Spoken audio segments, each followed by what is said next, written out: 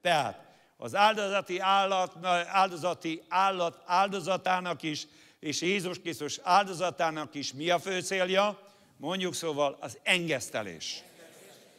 Engesztelés. Vagy lehet ezt kibékítésnek mondani, elégtétel adásnak, hogy elégtételt adott Istennek a názerti Jézus Krisztus, és éppen emiatt rendkívül fontos volt, hogy a názerti Jézus Krisztus megjelenjen az áldozati vérrel, ahogy a Jom Kipurkor, de a názerti Jézus Krisztus másképpen, a saját vérével megjelenjen az Atya előtt.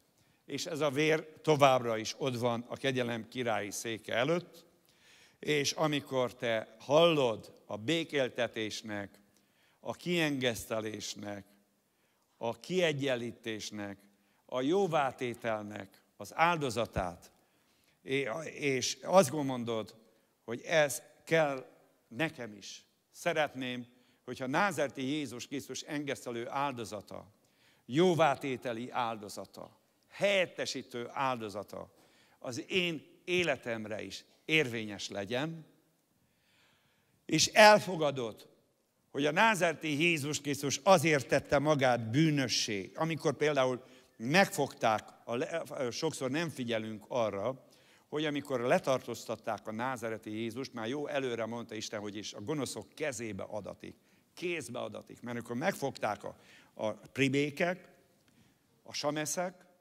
majd utána a római katonák, ráhelyezték ennek a bűnös világnak az összes bűnét a názerti Jézus Krisztusra.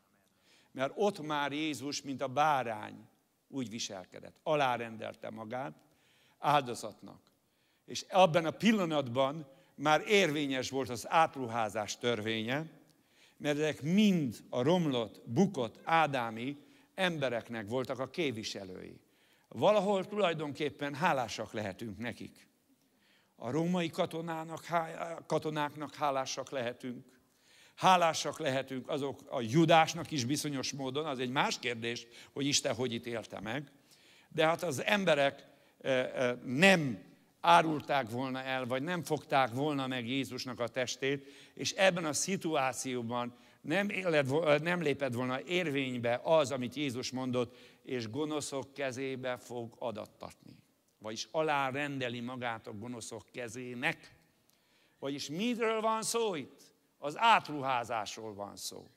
Hogy ahogy a gonoszok kezének átadatik az Istennek a báránya, az á, hogy Jézus Krisztus befejezi a földi szolgálatát, és következik az áldozati szolgálata. És ennek a forduló pillanatában ez fontos, hogy a gonosz embereknek a keze megragadja őt, és ezen keresztül átmenjen rá a világnak a bűnei.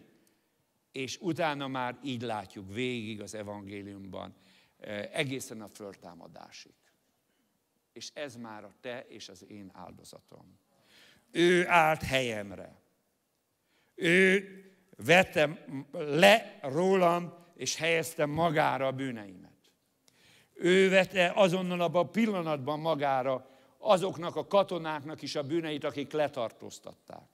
Azonnal magára vette azoknak a bűneit, akik megostorozták. Azoknak a bűneit is magára vette, akik beleverték a kezébe és a lábába a szegeit.